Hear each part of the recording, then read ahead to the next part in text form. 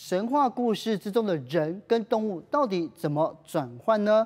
马上按订阅，开启小铃铛，让青春爱读书告诉你。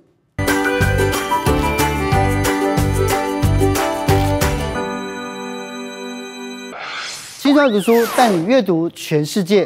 在许许多多的文类里面，有一种书写是特别有趣的，也就是人跟动物之间的关系。人变成了动物，或是动物变成了人，动物的拟人化，或是人怎么样去模拟动物的生活。在二零一一年的时候，有一位十七岁的漫画家在网络上发布了一个非常有趣的漫画。这个漫画呢，一发行造成了轰动。它讲述的是地球在历经了外星人的大屠杀之后，只剩下两个人活下来。而这两个人活下来之后呢，他为了要让自己想方设法的生存，他发现了一个有趣的事实，也就是外星人不知道鸡长什么样子。所以他们就根据这个文字的叙述，而且外星人对鸡也是一知半解，所以就利用这个盲点，他们将许许多多的道具把它装在身上，这两个人就装扮成鸡，然后生活在外星人的学校的鸡笼里面。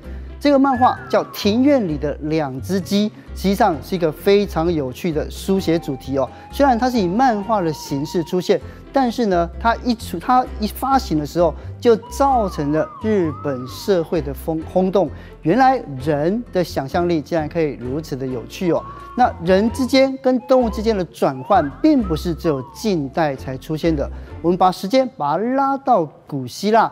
在奥维德所写的这个《变形记》里面，他转述了古希腊时代酒神戴奥尼索斯要前往纳克索斯岛，但是啊，这个水手他欺骗了这个酒神，所以酒神呢就把人。变成了海豚，你可以在这个陶器上面看到人变成海豚的过程。而除了人变成了海豚之外，另外一个在希腊神话里面也相当著名的是著名的这个河流大河之神的女儿伊俄。那伊俄呢，以她的盛世美颜迷倒了就是宙斯，但是呢，宙斯呢。跟他发生了婚外情之后，又怕自己的老婆发现，所以他就把伊尔变成了牛哦，变成了牛哦。那变成了牛之后呢，那赫拉听了非常的生气，所以他就变了一只牛蟒去叮咬这一只牛哦。那后来这个宙斯也良心过意不去，就跟老婆的认错，认错之后呢，又把这个牛变回了女神。啊，所以这个故事就告一个段落。所以人跟动物之间的互换，哎，竟然可以如此的频繁。但是呢，还有一个是更血腥、更恐怖的。当时啊，在古希腊里面有一个叫阿卡迪亚王国，他的国王叫莱卡翁，他的女儿哦跟宙斯生下了小孩。但是因为哦这个呃国王他不相信宙斯的神力，于是他把自己的外孙剁剁成了肉酱。然后呢，拿到这个宙斯的前面。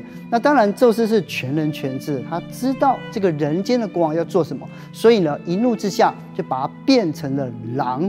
哦，这这个狼不仅仅是他的外在的形象，也描绘了他的内心。在英语里面的一个 lycanthropy 这个字呢，就从莱卡翁的名字变来的，转化成狼人的能力。你可以看到，动物跟人之间的互换是神话。是传说，也是文学里面一个非常重要的母题。为什么我们人类想要变成动物，而动物的拟人化又会代表什么样子的艺术风格？在动物跟人之间的互相转换，到底我们可以发现人类跟动物之间有什么相同还有不同之处吗？到不了的远方，就透过阅读来达成吧。现在就按订阅，开启小铃铛，让青春爱读书陪你阅读全世界。